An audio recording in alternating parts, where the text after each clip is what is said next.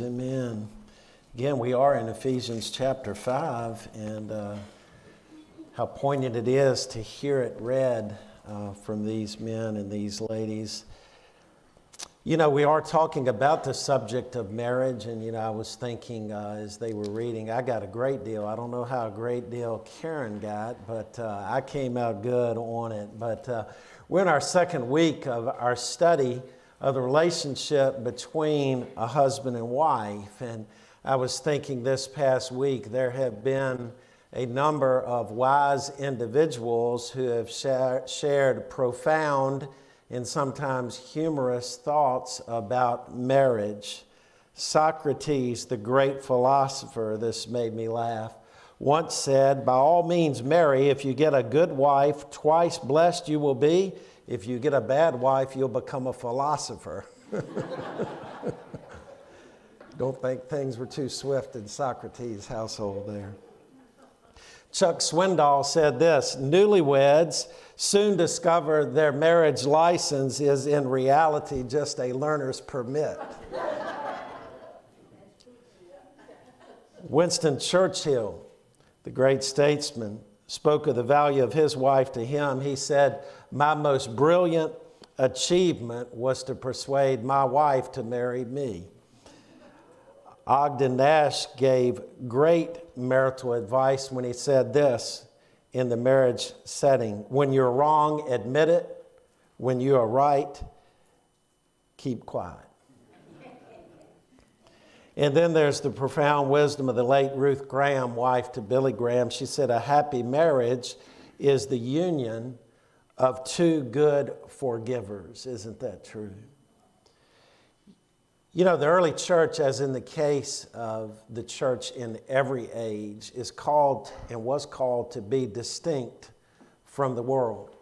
And the world of the early church had lots of views about men and women. In fact, leading up to the early church time, um, women were not in a very esteemed position in uh, cultures in that part of the world. And at that particular time, often women were considered to be possessions of their husbands. Their husbands ruled over them. However, as we move into the first century of the church, things began to change, and the church began to really lead out in that, that women created in the image of God are very special.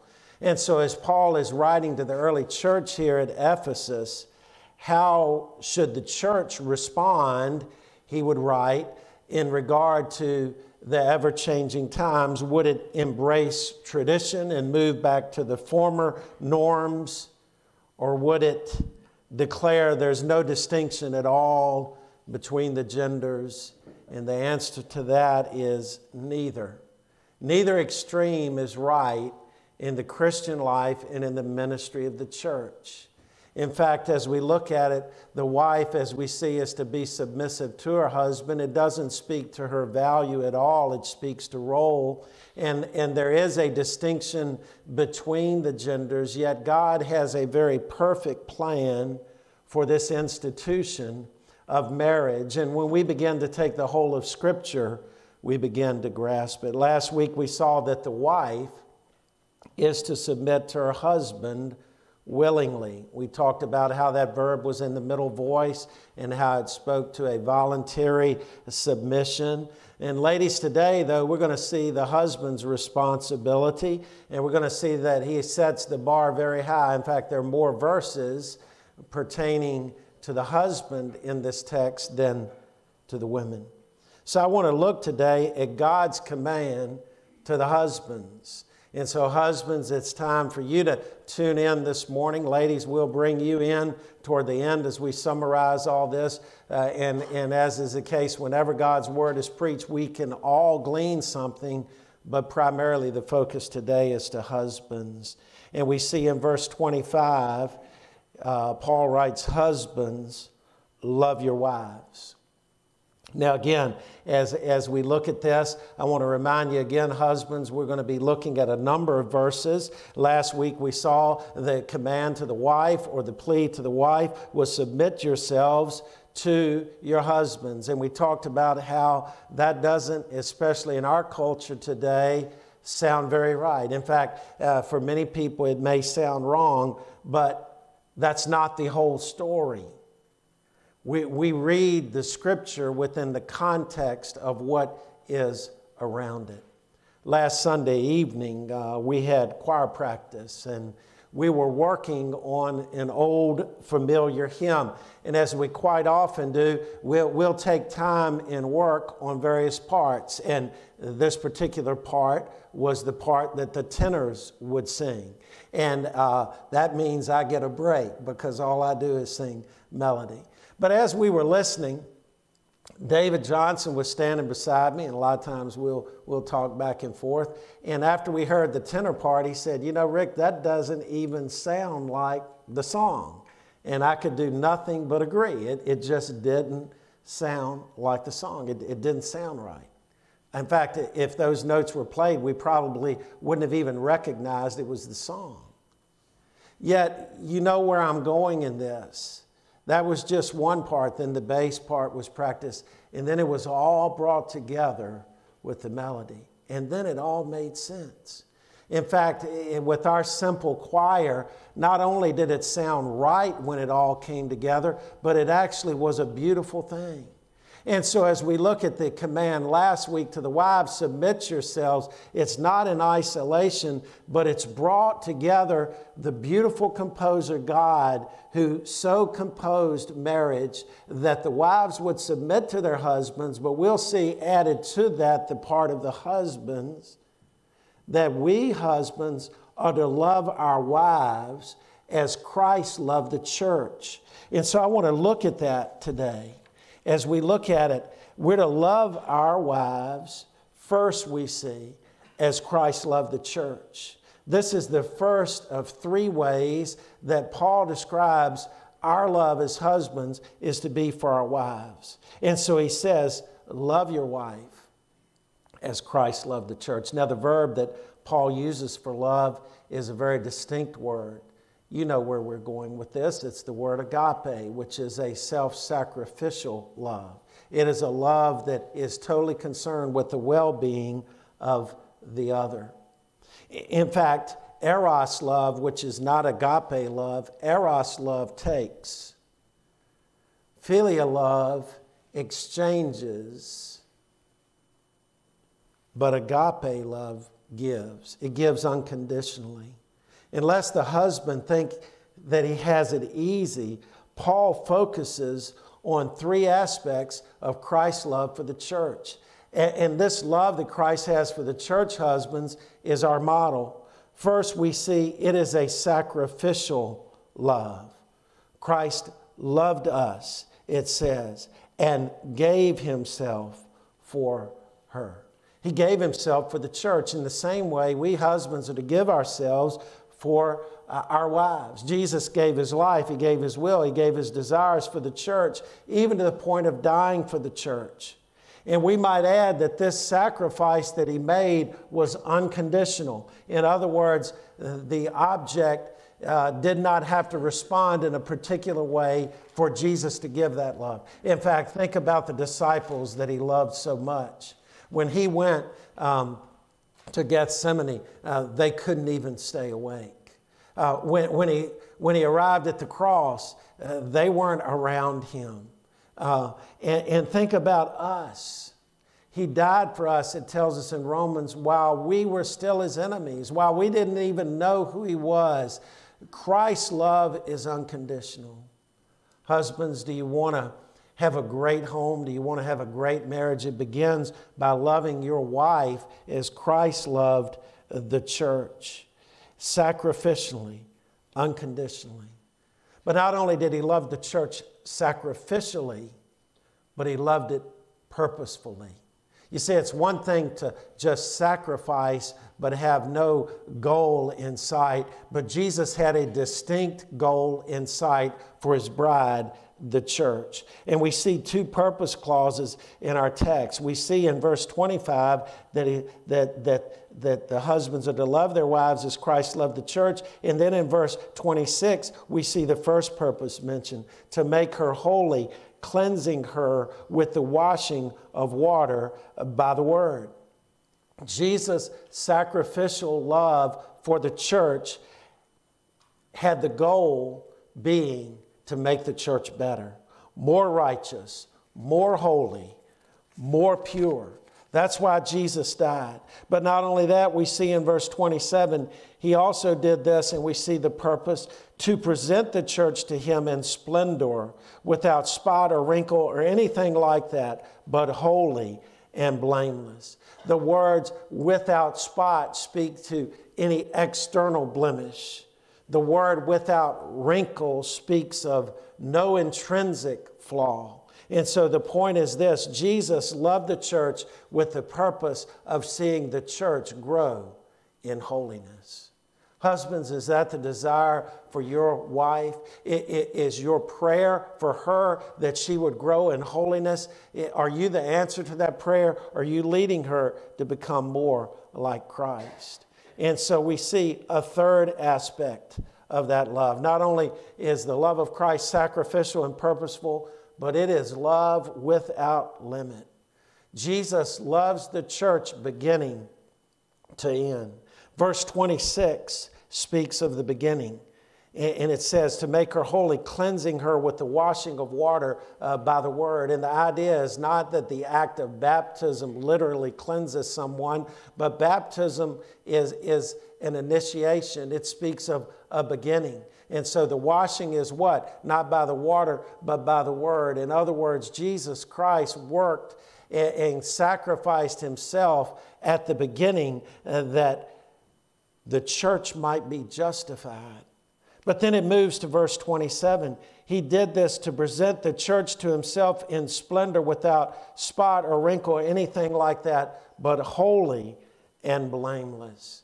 You know, as I was thinking of Christ's love for the church, I thought about probably the most vivid visual depiction of his love and again, as, as we read in verse 21, submit to one another, we see the direct command for the wives to submit to the husbands, but the husband's will is to be that of a servant, to submit to the wife. And so, Jesus, uh, in his last hours before he died, when he was with his disciples, he knelt down and he washed the disciples' feet.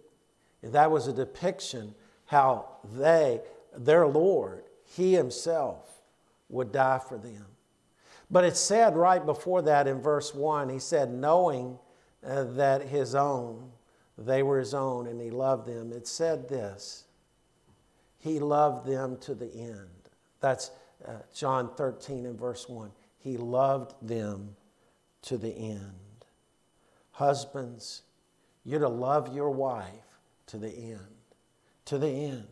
Look at verse 27. We mentioned how verse 26 speaks of justification, but verse 27 speaks of glorification. Now, between that is that process of salvation, and sanctification that Christ is working, but he's speaking really of A to Z. Verse 26 is A at the beginning when that individual trusts Christ. But notice verse 27. What is he doing? Presenting the church to himself in what? In splendor without spot or wrinkle, nothing external of a blemish, nothing internal that is, that is corrupt or, or unacceptable. When is Christ going to present the church to himself? When he comes again. When he comes again. So, husbands, I ask you today are you loving your wives sacrificially? Are you loving your wives purposefully? Are you, uh, are you looking for ways? Are you studying your wife? Are you thinking of ways that you can make her more holy and more like Christ? And then are you committed, like Christ, to the end to love your wives?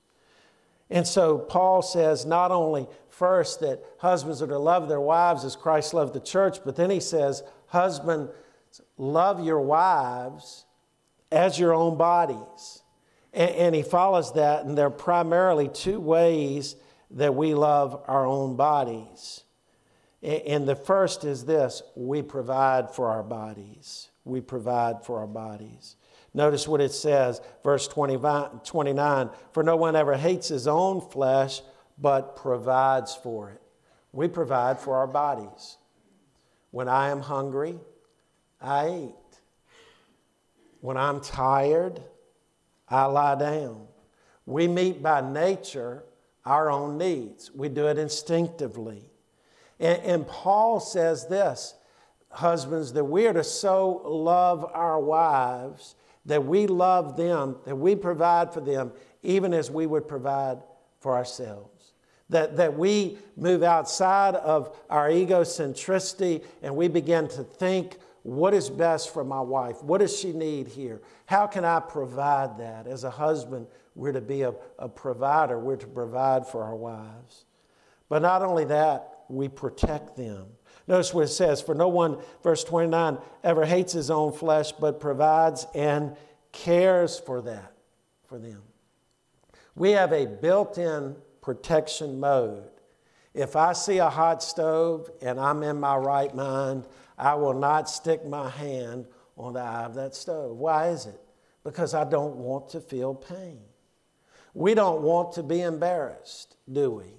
And we'll do anything to protect ourselves from it. I was laughing uh, this past week. I was helping a group of, uh, of middle schoolers and helping a friend of mine, and they had sort of a, a get together, a gathering in Farmville. It was on Monday.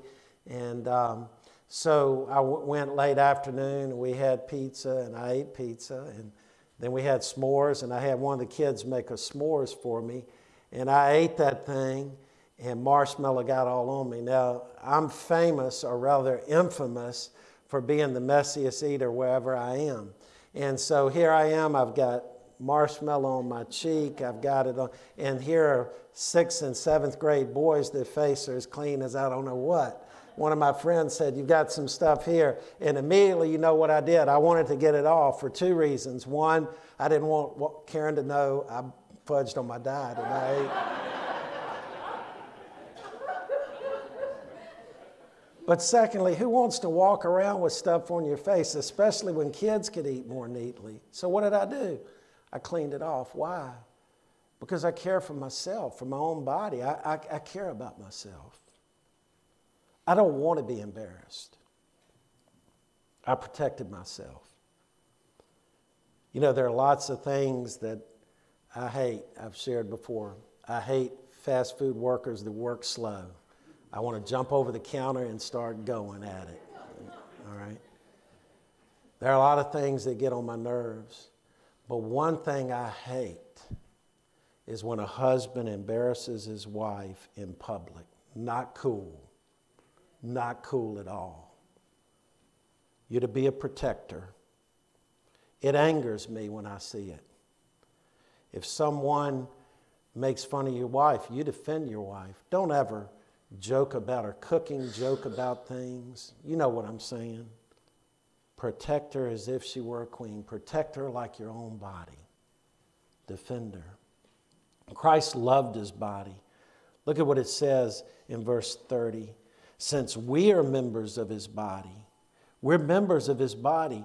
And likewise, even as Christ loved his body, we're to love our wives, our own flesh, as we would our own bodies. But then finally, we see a third thing. Husbands, we're to love our wives more than anyone except God Himself. God first, husband, and then your wife. Sometimes we get that out of whack when we have children, wives toward husbands or husbands toward wives. You begin to see everything invested in the kids and not in the marriage. And then when the kids are gone, then you're there. The beautiful thing of the Word of God is we can always readjust. We can always say, God, I want to reacclimate. Because no institution is more precious to God than the institution of marriage.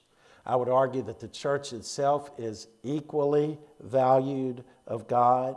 In fact, even in describing his church and his marriage, we see both mentioned here. God said it was not good for the man to be alone, and so he created woman.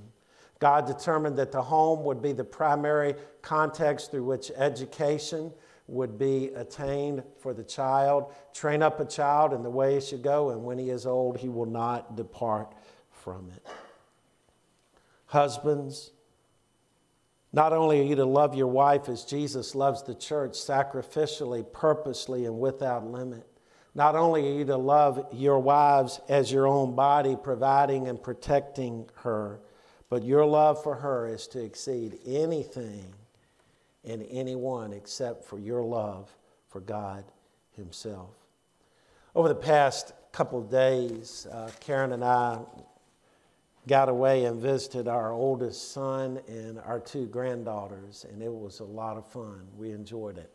Uh, we went to Suffolk, and Friday was a pretty day, and Wilson and Brittany uh, said to Karen and me, she's Gigi, I'm Papa, said, uh, let's go to the park. There's a park about two blocks down. We walked down to it. And there were a bunch of girls when we arrived playing, and everything was just so smooth. And then came the van. Two boys jumped out, and they changed everything. It was wide open. They were bouncing off stuff. I, I, had a little mushroom. It was a thing that spun like a merry-go-round. I was spinning it, and our granddaughter was having fun. And then I'm spinning it. This boy had gotten on the back end of it, and all of a sudden I heard a thud. The boy had hit the ground. He wasn't sitting in the seat, he was sitting cockeyed like some type of renegade. And before and the first thing I thought is he's going to let out a scream and run to his mom, and I'm in trouble. No, that boy got up and went the other direction and kept going.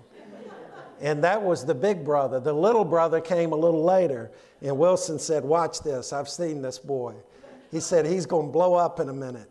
And so he's running, he's running and running. And I mean, it went like that. He smacked down like that. And about time I thought, is he going to cry? Will said, that boy isn't going to cry. He bounced right back up and kept going, ran into something. He was running into everything. Guys, we can be like those boys sometimes. We can mess up. But I like the perseverance of those little boys. They got back up and they kept going. Hey, what do we do, husbands, when we fall short? What do we do when we're dropping the ball with our wives? We're not loving them as we ought. We get back up. We repent. God, God, I'm sorry. God, give me the strength to be able to be the husband that you would have me to be. You know, the beautiful thing about God is He's a God of second chances, no matter how long it's been. I look at my wife She's more virtuous than I, and I don't just say that as a false humility. She's a motivation to me. Some of you husbands, maybe your wives are like that. You look and say, Man, she's been with me thick and thin. Hey, that deserves our honor. That deserves the love of Christ. So I close with this. What if, wives, and here's where you come in, what if you say, Hey, I've been I've been trying to submit. I, have bit my lip sometimes rather than spoke, speaking. I, have I've tried to honor my husband and not, not nag him, but it doesn't seem to be working. What do I do, Pastor? Keep doing it. Keep doing it. Believe God. God will honor it. Remember last week, wives, I shared the story of that wife who quietly served the Lord, and then her husband, before he passed, believed in the Lord, sat right up in the church, and she had a smile on her face as she sat beside him. She had a smile. Keep with it. Husbands, what if you say, I'm trying to love my wife and I don't seem to be getting anywhere? Keep doing it. Keep serving keep sacrificing, keep loving. Because God promises that if you do your part, He'll take care of it. Believe Him for it. So it says in verse 33 to sum up each one of you is to love his wife as himself, and the wife is to respect her husband. Let's pray. Father, as we've looked at this subject of marriage, um, Lord, we've chuckled some at sayings of wise people in the past, as we've looked at personal experiences, as we've looked at your word. Father, we acknowledge today that you are the composer of marriage, this beautiful institution for the benefit of society, the strengthening of children, the needs of husbands and wives to be met. Lord, you created it as a gift. And Father, as we look at the various parts that come together the husband and the wife, and next week as we look at the children, uh, Lord, we know that it works best when we do what you called us to do. Lord, there's some wives out here, they're, they're doing exactly what your word says, and they're waiting patiently, loving their husbands through uh, that gentle spirit. And I pray, God, you would honor it. I pray that you would honor it in a way that they would celebrate, Lord, what you're doing in their husbands' lives. Lord, there's some husbands that may be struggling today. They're, maybe they're struggling because they haven't been everything they should be. But God, you let us get back up and go again when we repent. But Father, there may be some fathers today that are uh, loving their wives sacrificially, but not getting the return that they expect. But Lord, keep them mindful of the fact that you love the disciples even when they slept, even when they didn't follow you to the end. That, Lord, you loved us even while we were your enemies. And Father, in marriage, unconditional love, forgiveness, forbearance is so precious. And so I pray for the marriages in our church. I pray that there would be an awakening of, of love between husband and wife, and that the fruit would be manyfold and long lasting. And we pray it in Jesus' name. Amen. Our closing hymn.